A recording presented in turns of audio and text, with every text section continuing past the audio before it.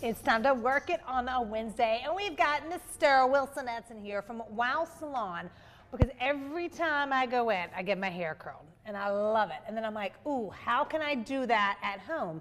Clearly, I need to buy certain tools. Clearly, you ordered from Instagram, Uh-huh. and this is what you got. Right. And this is a great tool. I'm glad to be here, by the way. Yes, Yeah. we, we, lo- we love having you, Uh, Wilson. and so uh, you brought this yesterday, and I tried it. And as long as you keep your thumb back of a light that's in there, it has to Uh-huh. be back of it. It works great. This is Mimi from our salon. Mimi with the good hair. Yeah, Mimi with the good hair. And if you'll turn your hair just a little bit, we did two sections, Okay. and it worked beautifully. So that came from that. Yo, I've That had this for like two years. I can't figure out how to use it. So of course I need. I was like, Wilson, how do you use this thing? And so we use mostly a flat iron or a curling iron in the salon because they're easy. For some people, why are they not? Uh, is it because I'm not a professional? I don't have the hand. Well, and there's so many Like, things that you can do. When the flat irons came out, you felt like You used it to flatten you used it to absolutely hair. straighten hair. Yes. Now you can wrap it around and you can get stronger curls and you just use it as a ribbon and See, you get looks so stronger curls, which is very similar to this. Right. But the problem with all tools Yes, is the hand on one side, the handle has to be down. When you go to the other side, the handle has to be up. Okay, so usually if, it's, Um, if you're going away from your both, face, all of the tools. Okay. When you're doing it yourself, you have to have it different. You have, it depends. Okay. We always want it to go usually away from the face. Right. Because if you don't, it comes in on your cheekbones, closes in your eyes, except for your bangs. Yeah. Uh, we want it to open up the face a little bit more. So even if you have this gigantic long curling iron, uh we'll Uh-huh. You start start, from the top. and we will usually slide them down. Okay, If you don't, you're not going to get a wave, you're going to get a curl.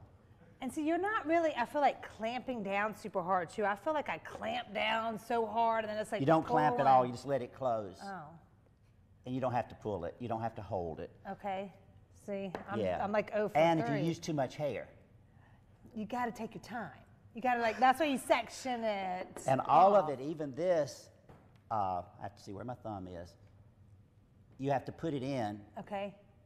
and when you turn it, you just can't do too much hair. If you do too much hair, Is it just not gonna? see, it, sl- it doesn't slide as well. Right.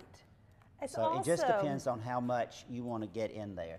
Also, I find that if you use a little hairspray, Yes. light hairspray, not a super heavy hold lacquer, but that will dull your hair. It will also cause it to go yellow if you're blonde. Oh. So you only use a little bit of, of hairspray, and that will help it stay all day. Now, what about there's the debate of like curling dirty hair versus clean hair?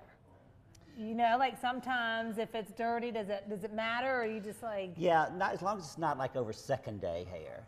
Uh, you don't want to. Any, anytime that you build products up on hair, if Yeah. you've used, if you haven't used anything, that's different. But if you've used any type of dry shampoo or you use a uh, too many, too much hairspray or what, you're gonna build, you're gonna bake on the product. and we don't want to bake on. You don't want to bake on that product. If you bake on that product, you just got a problem getting it off. Your hair's dull. It turns into a different color. So. Okay, so when in doubt, go with clean hair. And of these three, what what is your favorite? You think, or the maybe most user This friendly? this this will be what we use 80% of the time in the salon. That's crazy. That It depends on the look. yeah. Uh, and if you want uh, the waves, curls come from vertical, Okay. waves come from horizontal. Okay. See, that's a good so tip. if you want just a big loose recreate it, wave, you go in horizontally with your section, not vertical. Ah, What about curlers? Do people still use curlers? Like, you know, like our parents would put them in bed at night. Well, I thought I was going to be really lazy, and so I found these two-inch curlers uh online. You know, my favorite Yeah. place not to go.